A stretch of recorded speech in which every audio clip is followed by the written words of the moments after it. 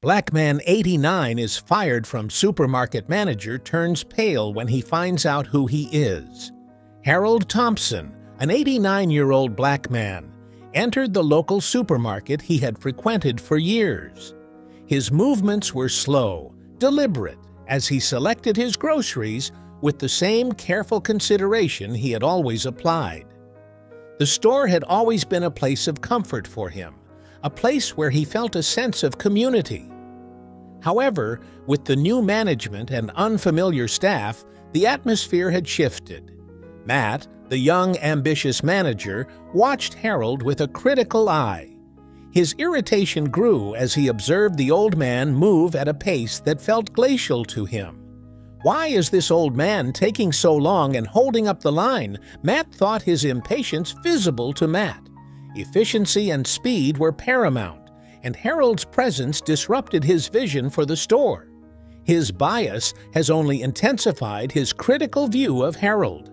As Harold approached the checkout, he was met with an impatient cashier. The line behind him grew as he meticulously counted his money, his hands shaking slightly with age. Matt, watching from a distance, decided to intervene. Sir, you need to speed this up. We can't have you holding up the line, he said sharply, his tone lacking any semblance of understanding or patience. Harold looked up his eyes, calm but tired. I'm doing my best, he replied softly, his voice steady despite the disrespect. Matt, feeling the weight of the growing line and the cashier's smirk, lost his patience. You need to leave, he said louder. This time, the underlying message painfully clear. Harold was not welcome here, not because of his pace, but because of his age and his race. The words hit Harold like a blow. He handed over his unpaid groceries and exited the store. The weight of every judgmental stare heavy on his shoulders, a place that once felt welcoming now felt hostile and uninviting. The sense of community once felt was shattered. The following day, Harold returned to the supermarket. His purpose was not to shop, but to make a silent statement. He walked through the aisles, his presence a quiet protest against the injustice he had faced. Matt, seeing him, found a mix of confusion and anger. Why is he back? He wondered his frustration boiling into anger.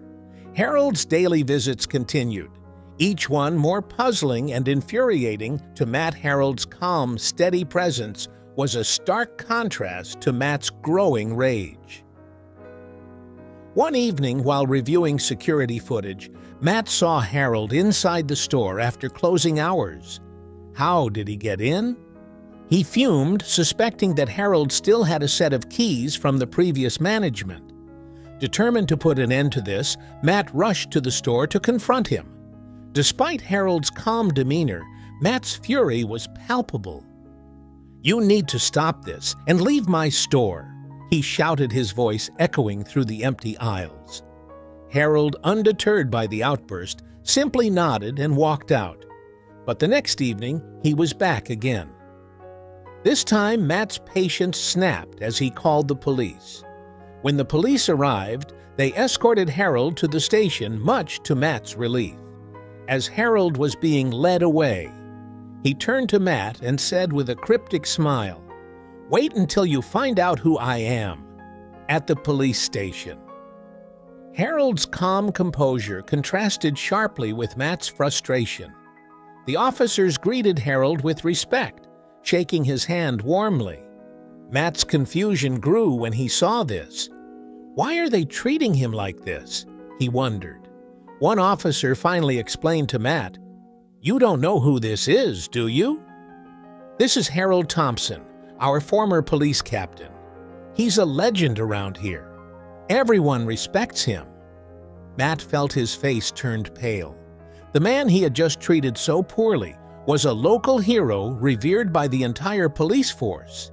Harold, seeing Matt's realization, invited him to sit down.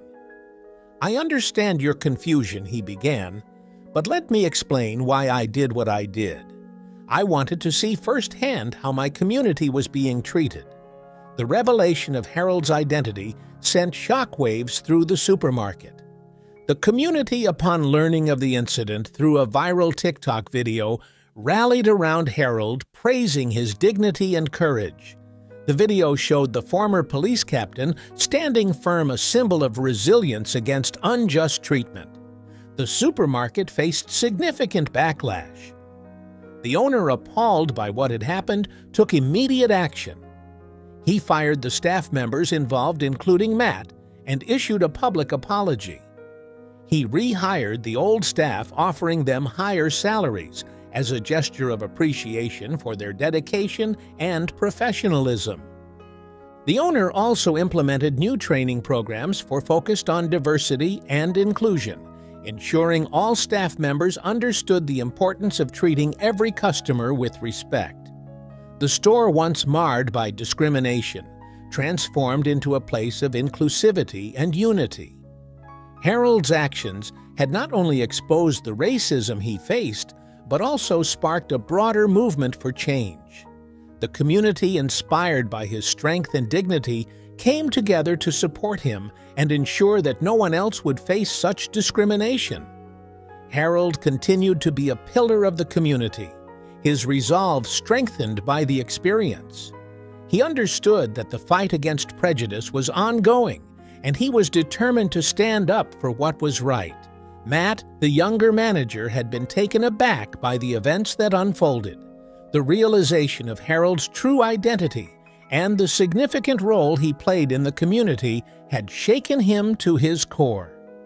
The public backlash and the powerful response from the community made him reflect deeply on his own actions and attitudes. The training programs implemented by the owner also helped Matt see the importance of diversity and inclusion in the workplace. During the following months, Matt worked hard to rebuild his reputation and earn back the trust of his colleagues and customers. He started by making amends with the old staff members and learning from their experience and wisdom. He also took part in the new training programs, which opened his eyes to the importance of empathy and respect in managing a team. Harold, observing Matt's efforts from a distance, saw a genuine desire to change. He decided to reach out and offer his guidance. The two men met regularly, and Harold shared stories from his time as a police captain, emphasizing the values of fairness, integrity, and community service. These meetings were transformative for Matt, helping him to grow both personally and professionally. As Matt became more attuned to the needs and concerns of his staff, the atmosphere in the supermarket improved significantly. The store began to flourish once again, not just in terms of sales, but also in terms of the positive environment that was created. Customers noticed the difference and returned, confident they would be treated with respect and kindness.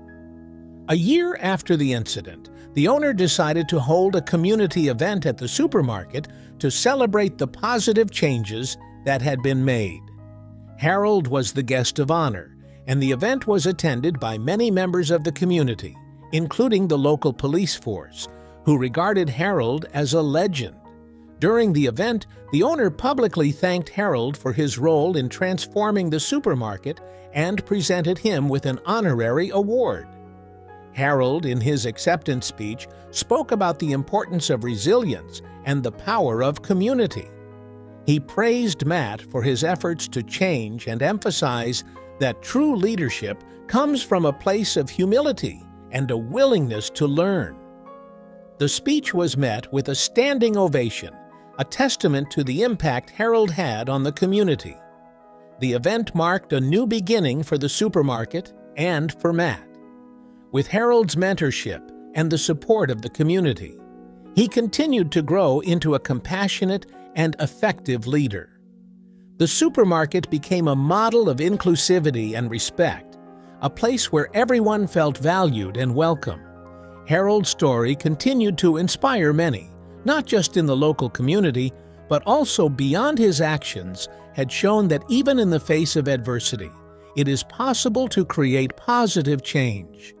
His legacy was one of courage, dignity, and the unwavering belief in the power of standing up for what is right. As a result, the supermarket thrived, becoming a symbol of hope and unity for all who entered its doors. From this story, we learn about the profound impact of treating others with dignity and respect, regardless of their age or race. Harold's calm, a dignified response to discrimination not only exposed deep seated biases, but also sparked a transformative change in his community. His actions remind us that standing up against injustice, even silently, can lead to significant positive outcomes. The importance of diversity, inclusion, and the power of community support our key takeaways. This story prompts us to reflect on our own behaviors and attitudes. How do we treat those who seem different from us? And are we willing to confront and change our biases? Have you ever witnessed or experienced discrimination? And how did you respond? Share your thoughts and stories in the comments below.